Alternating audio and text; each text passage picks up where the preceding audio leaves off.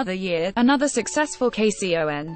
On June 23 and 24, the Prudential Center in Newark, New Jersey was home to KCON 2018 NY presented by Toyota, and an audience of over 53,000 attendees. This is the fourth consecutive year of KCON USA's East Coast stop, and was bigger, brighter, and filled with more Korean culture and fun than ever. This year's convention certainly put the new in New York. Here's our overview on the new aspects of this year's KCON 18NY 1 pre-KCON M Wave events.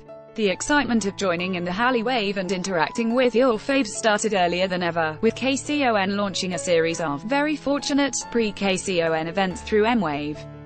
Fans could see their votes, submissions, and uploads before KCON weekend flourish into real-life interaction during KCON. With My Playlist KCON, fans could vote for a song of their favorite attending artist during the May 25th to June 11th event period to be performed on stage at KCON. This fan-voted playlist resulted in EXID performing their booty-shaking hit song DDD. With KCON 2018 NY Fan Awards, fans could name an award for the KCON artist of their choice from May 21st to June 8th, with a chosen award presented directly to the artist at their fan engagement session. These range from fromis underscore 9 adorably accepting Cutest Rookie Group Award to 101 hilariously receiving the Most Meat Consuming Group Award. https colon slash slash twitter.com slash official wave slash status slash 1014-337-421-402-505-218 The most exciting addition to this M-Wave KCON event lineup is the Cover Star K event. Fans uploaded their K-pop dance cover videos to the M-Wave contest and, if chosen as a finalist, performed on KCON's outdoor stage for judges. The grand prize of performing on the stage of the M Countdown pre-show went to Haru Dance for their charismatic mashup of Red Velvet's Be Natural and Look, and they killed it. https colon slash slash www.instagram.com slash p slash beakfuckyou6hj slash question mark hl equals n Artist engagement packs. In the previous years, artist engagement packs came bundled with your concert ticket. This year, concert tickets and artist engagement packs were sold separately, with the exception of diamond and platinum tickets, to, in the words of KCON USA, provide all of our KCONers with more opportunities to see their favorite artist up and close. While the decision was met with some confusion and distaste from fans, others were pleased that they could splurge artist engagements and save a nice bird's-eye view where they wanted to. KCON also introduced a Gallery All Access Pass, which allows you access to all the artist engagement sessions on a given day. Check out the view from the designated gallery section. Our review on the Gallery Artist Engagement Pack. Not worth a $45 price tag for a seat where the hockey house distorts the sound too much to hear Bae Young's voice clearly, but perfect for days packed with more than one of your ULT groups.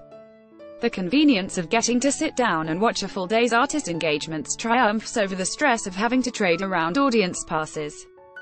3 STAR Live Talks KCON 18NY held the worldwide debut of Star Live Talks.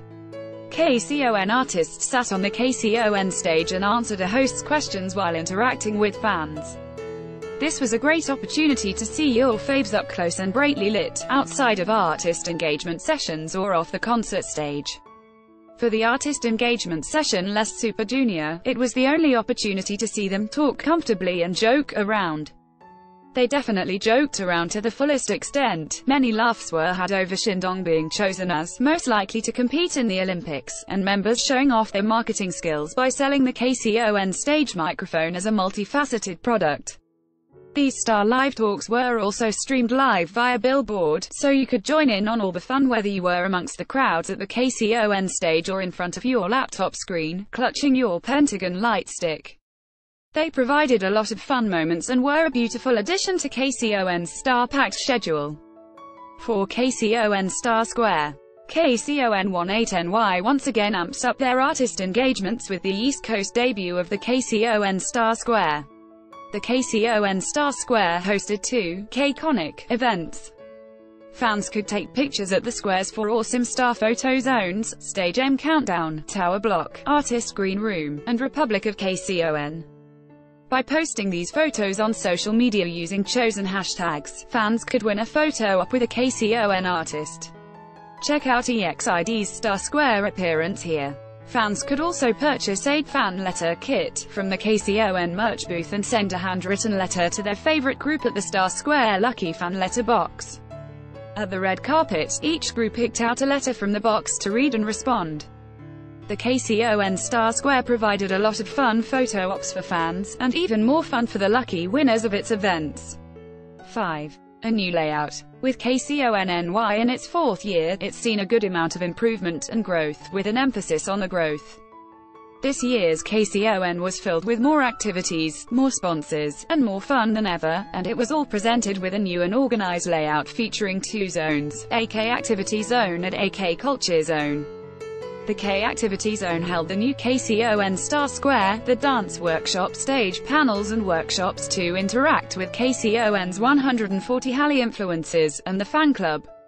The fan club meeting space was also a new addition to the KCONNY lineup, and presented the perfect space to play fun activities centered on your bias group and make new friends. The K Culture Zone held booths from KCON sponsors, a beauty block, the market, and the KCON stage. KCON sponsors Toyota, Amore Pacific, State Farm, McDonald's, Verizon FiOS, Olive Young, Bibigo, Tous Les Jours and Asiana Airlines. Fans had endless amounts of photo ops, activities, freebies, and opportunities to win artist engagement.